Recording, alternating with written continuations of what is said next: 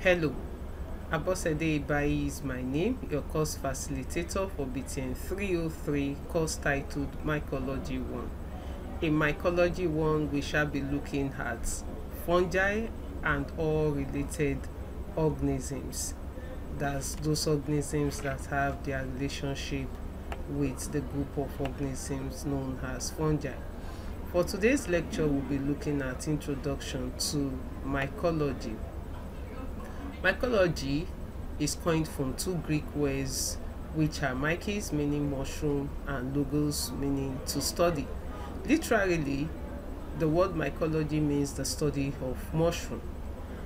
But with the advancements in the study of mycology and technology, the term has been broadened to include all forms of fungi and related organisms.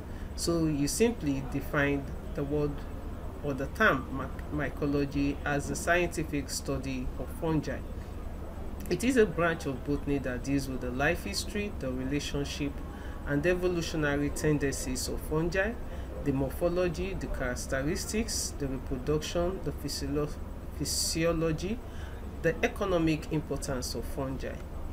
A scientist who studies fungi is known as a mycologist. At the end of this particular lesson, you should be able to describe what fungi are. You should be able to state spe specifically the characteristics of fungi, describe the mode of identifying the fungus, outline the economic importance of fungi, and classify a given fungus. What are fungi? or what is a fungus? Fungi are non-chlorophyllous eukaryotic talophytic organisms that inhabit almost every niche in nature. Fungi is studied under botany because they have rigid cell wall and they are non-motile just as you have in the chlorophyllous plants. Examples include the unicellular yeast that you find on your freshly tapped palm wine and also the multicellular fungus like Aspergillus flavus that grows on your unpreserved leftover food. Generally, the characteristics of fungi include being eukaryotic, that means that their cytoplasmic organelles have double membrane and they have double bounded um, nucleus. Not the, their nucleus is well defined as, as against the prokaryotic organisms.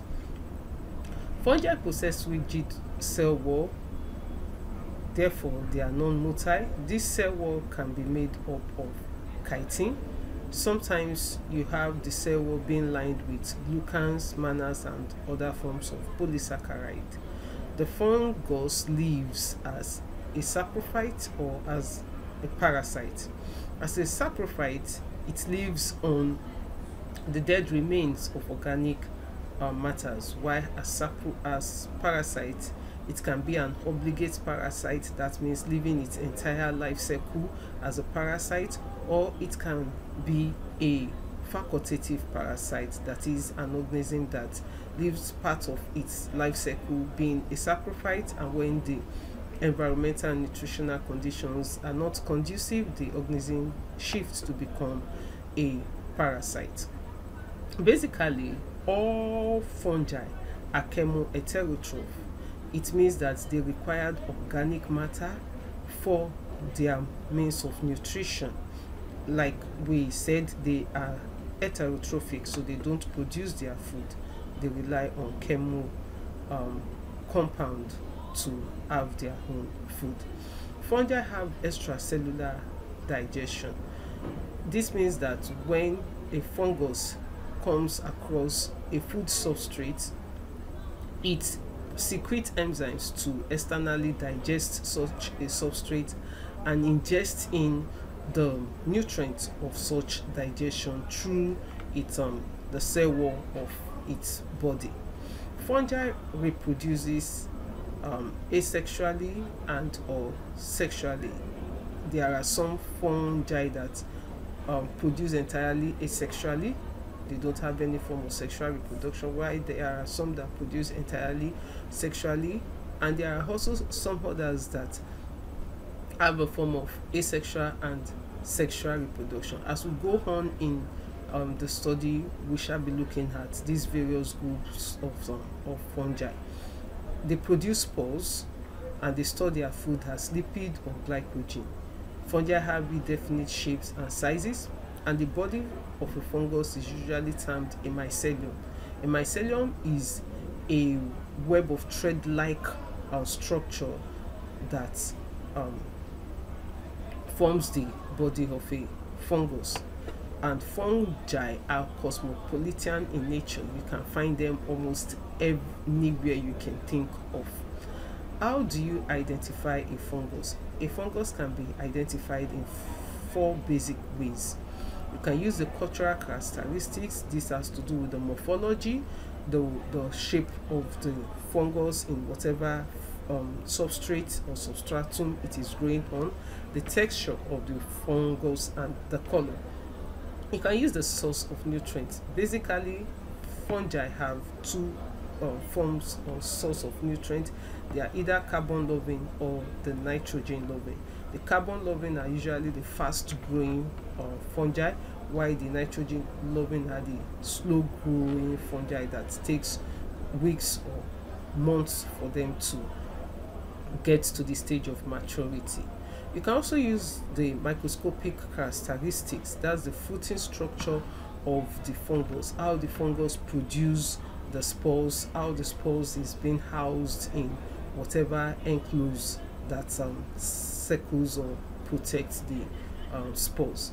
You can also use the molecular form of identification which is the use of the amino acid sequences of such a fungus to get the basic um, um, amino acid that constitutes the fungus and this form of identification is the most accurate which has helped mycologists and taxonomists to re um, fungi into seven subdivisions as you have in some um, textbooks and it has also helped to reclassify some fungi that have been wrongly placed in um, the wrong class itato.